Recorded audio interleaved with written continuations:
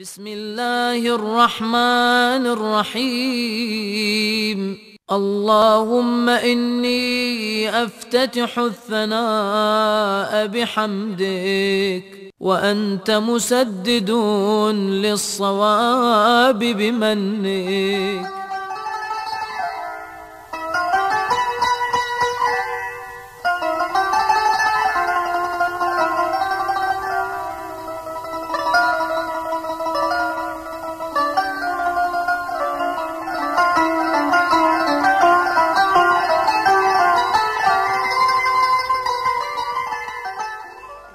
الرحمن الرحيم. والحمد لله رب العالمين. وصلى الله على سيدنا محمد وآله الطيبين الطاهرين. وأيقنت أنك أنت أرحم الراحمين. في موضع العفو والرحمة وأشد المعاقبين. في موضع النكال والنقمة وأعظم المتجبرين. في موضع الكبرياء والعظمة. وأيقنت أنك أنت أرحم الراحمين في موضع العفو والرحمة. وأشد المعاقبين في موضع النكال والنقمة. وأعظم المتجبرين في موضع الكبرياء والعظمة. ربنا سبحانه وتعالى نحن نقول له أيقنت في هذا الدعاء. وفي الحقيقة هنا نحتاج أن نقف وقفة عند كلمة أيقنت. لم أوفق للحديث عنها في اللقاء السابق مع الأحبة في الحقيقة نحن قد لا نعيش اليقين قد لا نصل إلى درجة اليقين. كيف نقول أيقنت؟ هذا الدعاء الذي نطق به حسب الظاهر هو أحد الأئمة صلوات الله عليهم. هذا الدعاء مروي عن بعض وكلاء ونواب الإمام المهدي عليه السلام وكأنه من أدعية الإمام المهدي عليه السلام. فمن الطبيعي أن هذا الإمام العظيم يقول أيقنت أنك أنت أرحم الراحمين. لكن أنا ضعيف اليقين كيف أقول وأيقنت أنك أنت أرحم الراحمين؟ طبعا هنا لابد أن نستحضر حقيقة من الحقائق. أن اليقين الذي ورد لدينا في بعض الروايات أنه ما قسم الله بين عباده شيء أقل من اليقين. أقل ما الله سبحانه وتعالى أعطاه لعباده هو اليقين.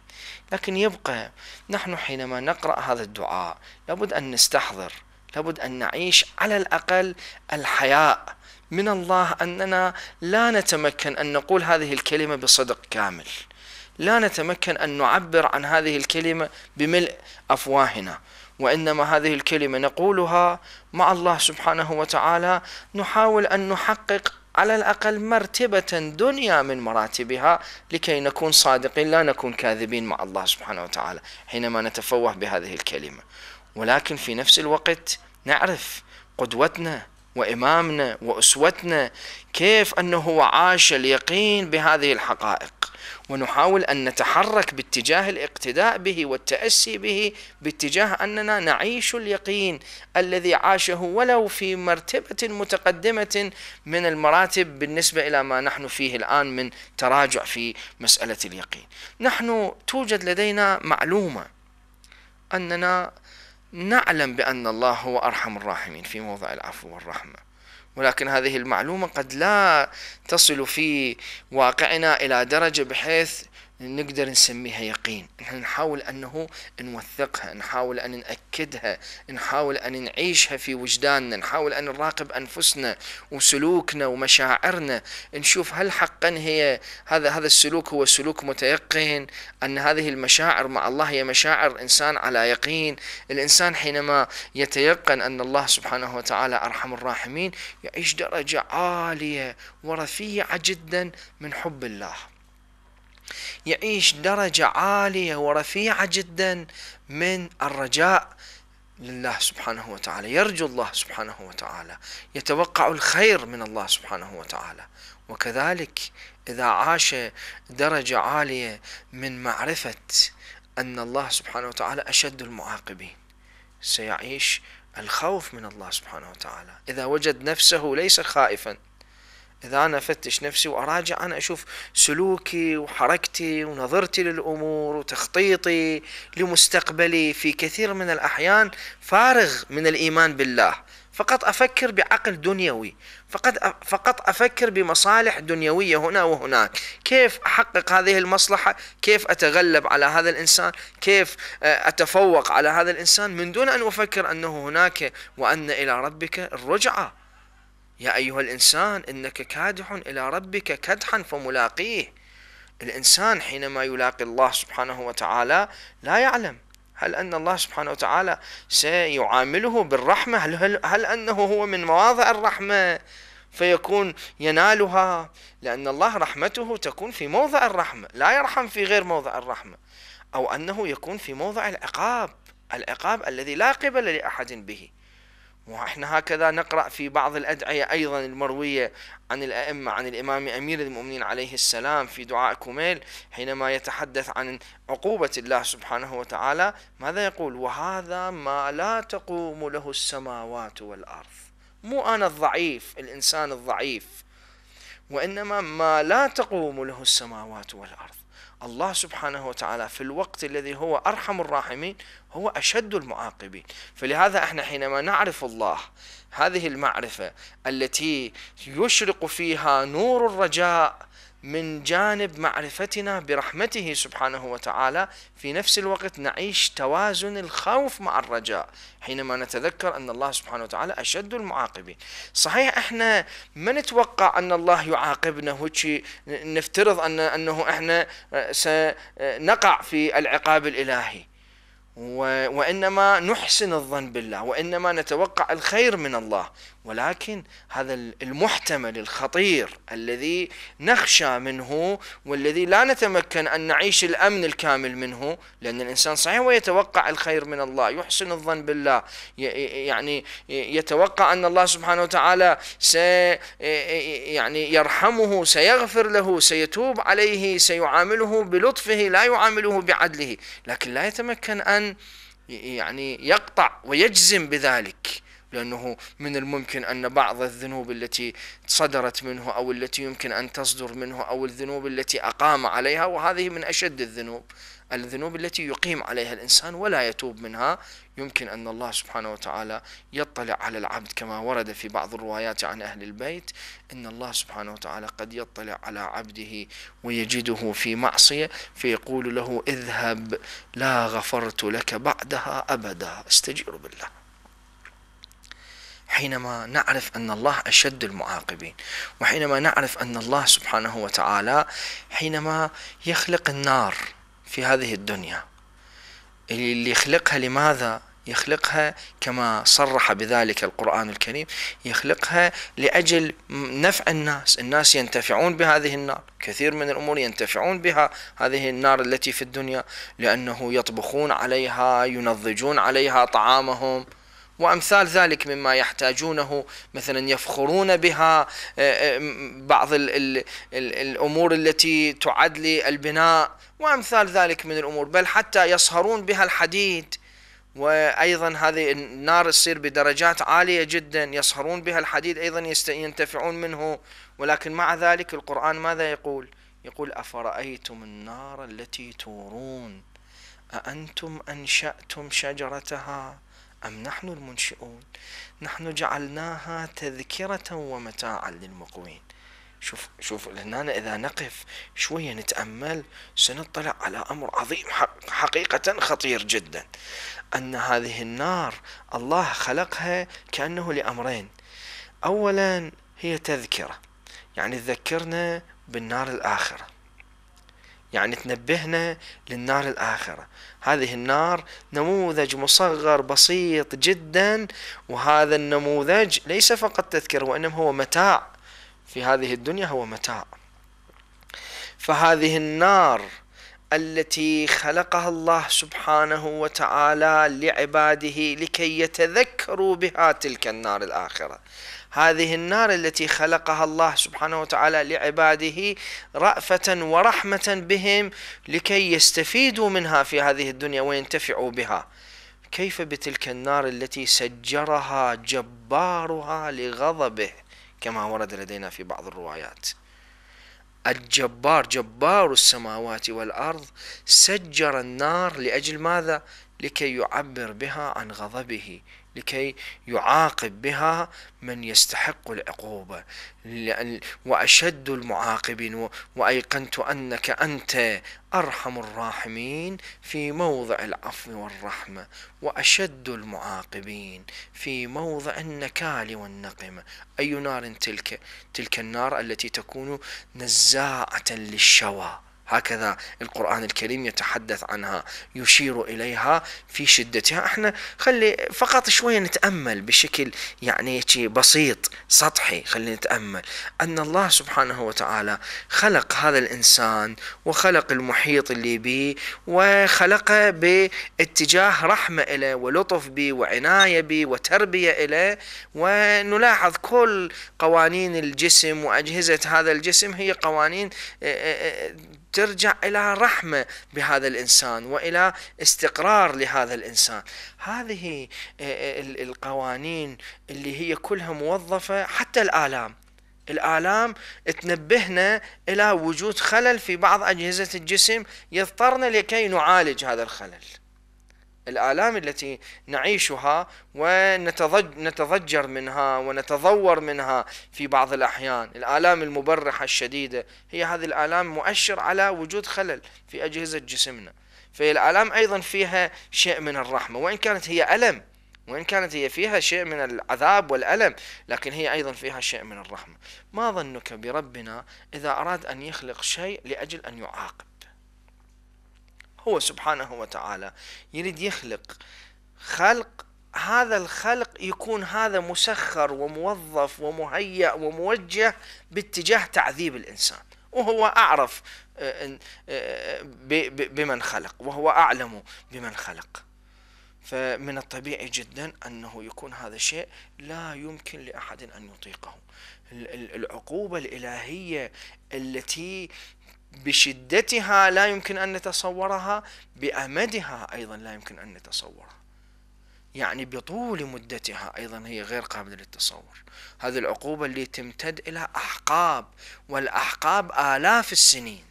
وهاي العقوبة اللي تمتد بالنسبة لبعض الناس المعاندين الكافرين تمتد إلى أبد الآبدين. أولئك أصحاب النار هم فيها خالدون والعياذ بالله. هذا جعل البعض أصلا لا يطيق أن يفسر كيف أن الله سبحانه وتعالى يعاقب بهذه العقوبة. لكن التفسير واضح.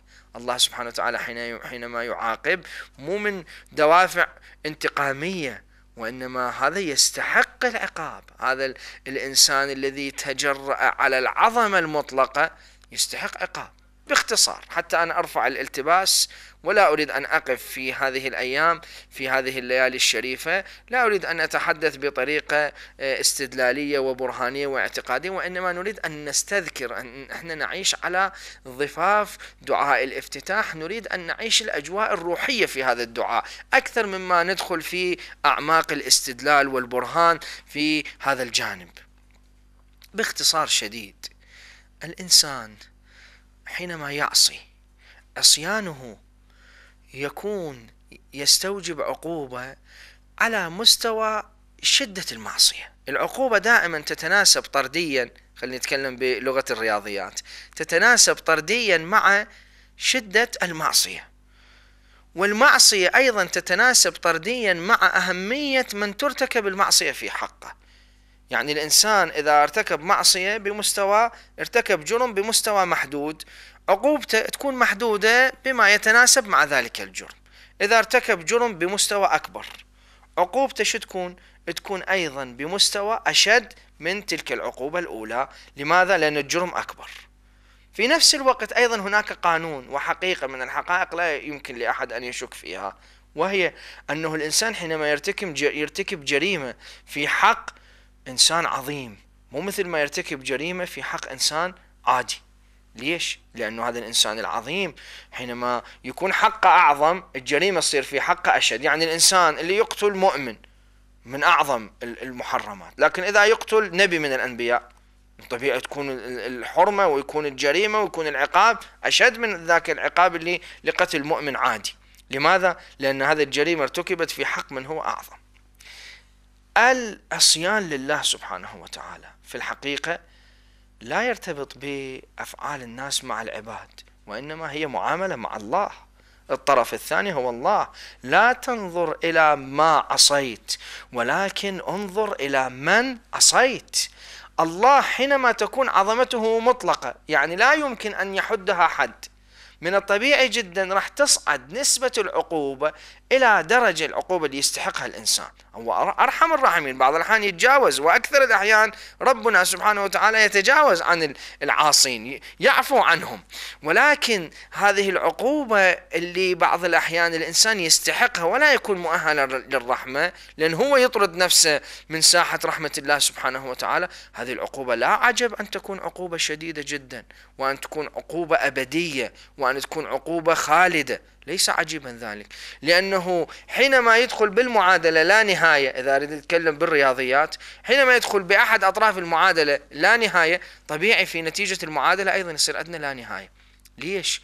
لأنه هذا الإنسان حينما يعصي الله بدرجة حينما يعصي ويرتكب الجريمة بدرجة آه، أكبر عقوبته راح تشتد. فإذا هو ارتكب الجريمة في حق موجود عظيم جدا في حق موجود عظمته لا يمكن أن تحد بحد. من الطبيعي أن عقوبة هذا الإنسان أيضا تكون بدرجة بحيث لا تحد بحد. بعد ما يبقى عندنا شبهة. إحنا ما نستوعب إحنا ما نتحمل إحنا ما نقدر نتصور هذه الحقائق وهي أشياء ما نقدر نتصورها. هو هذا عالمنا وكرتنا الأرضية ومجموعتنا الشمسية ومجرتنا وما أشبه ذلك. هو هذا عالمنا المادي هو إحنا ما نقدر نتصوره زين. ليش تروح بعيد العالمنا المادي وتصعد بالفضاء؟ هو لا إحنا ما نعيشه في دواخلنا. هاي ذرات أجسامنا إحنا ما نقدر نتصورها زين. هو الإنسان ما يقدر يتصور الأمور على حقيقتها بشكل كامل. وما أوتيتم من العلم إلا قليلا. لكن بحمد الله هذا العقل الذي يشير لنا إلى حقائق الأمور هو الذي الله سبحانه سبحانه وتعالى يحاسب به ويؤاخذ به ويثيب به ويعاقب به. فهذا العقل هو قاعد ينبهنا بعد يرفع عن هذا الغموض. وهذا في الوقت الذي يعبر لنا عن عن عن الخلفية شدة العقوبة الإلهية في, ألو... في الوقت نفسه يعبر لنا عن أن هذه العقوبة تكون في موضعها. إحنا نحب الله حتى وهو أشد المعاقبين. حتى من جانب أنه أشد المعاقبين. لماذا؟ لأن هذه عقوبته هي عقوبة الحكيم. لأن هذه عقوبته هي عقوبة من يضع الأمور في مواضعها.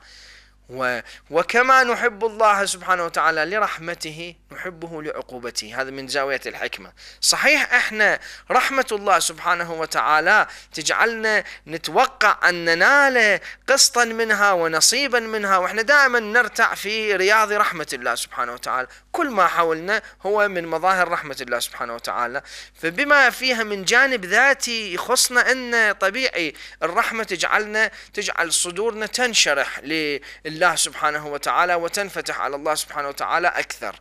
ولكن هذا العقاب الإلهي وشدة العقوبة الإلهية لا ينبغي أن تمثل حاجزا بيننا وبين محبة الله وبيننا وبين الارتباط مع الله سبحانه وتعالى. لأن هذا أشد المعاقبين أين؟ في موضع النكال والنقمة. فأنا نقول له أيقنت أنك أنت طبعا هاي أنك أنت هاي يدل على الحصر يعني لا يوجد يا ربي سواك بهذا الشكل. وأيقنت أنك أنت أرحم الراحمين في موضع العفو والرحمة وأشد المعاقبين في موضع النكال والنقمة وأعظم المتجبرين. في موضع الكبرياء والعظمة. الله سبحانه وتعالى. هذا الكبرياء لماذا لا يليق التجبر بالإنسان؟ لأن الإنسان هو ضعيف لأن الإنسان هو حقير لأن الإنسان هو صغير لأن الإنسان هو مسكين لأن الإنسان هو كلا شيء. أما حينما يكون المتجبر هو جبار السماوات والأرض فلا يليق به إلا التجبر. لا يليق به إلا التكبر لا يليق به إلا العظمة وإظهار هذه العظمة. فلهذا إحنا نقول لربنا ذلك الذي هو أرحم الراحمين في موضع العفو والرحمة وأشد المعاقبين في موضع النكال والنقمة هو من نفس ذلك الموقع هو أعظم المتجبرين أين؟ في موضع الكبرياء والعظمة وهو سبحانه وتعالى موضع الكبرياء والعظمة وهو سبحانه وتعالى عز وجل هو العظمة التي لا يمكن للعباد أن يحيطوا بها وأن يعرفوا عمقها وأن يسبروا شيئا من غورها. نحن آيات الله سبحانه وتعالى لا نتمكن أن نعرفها بشكل كامل. خلق الله سبحانه وتعالى في بعض الأحيان لا نتمكن أن نعرفه بشكل كامل. لكن الله سبحانه وتعالى بعظمته نحن ليس أمامنا إلا أن نقف أمامه خاشعين مستكينين منحنين. ساجدين راكعين. شوف هاي حالة السجود حالة الركوع. هذه مو مجرد حركات رياضية هذه حركات تعبر عن التذلل أمام الله سبحانه وتعالى. أنا ليش حينما أكون واقف بالصلاة ثم ان ان أنزل إلى السجود وكان كأنه أنه الإنسان يعني شيء من الماء ثم يسيل يعني مقدار من الماء ويسيل على التراب. هكذا الإنسان ينهار كأنه أمام الله سبحانه وتعالى وأمام عظمته فيسجد. هذا الإحساس بالعظمة الإلهية والتجبر الإلهي هو الذي يورث الخشوع في النفس. نسأل الله سبحانه وتعالى أن يزيدنا إيمانا به ويقينا به وأن يعرفنا آه، خفايا أنفسنا سيئات أعمالنا وأن يتجاوز عنا إنه هو أرحم الراحمين والحمد لله رب العالمين.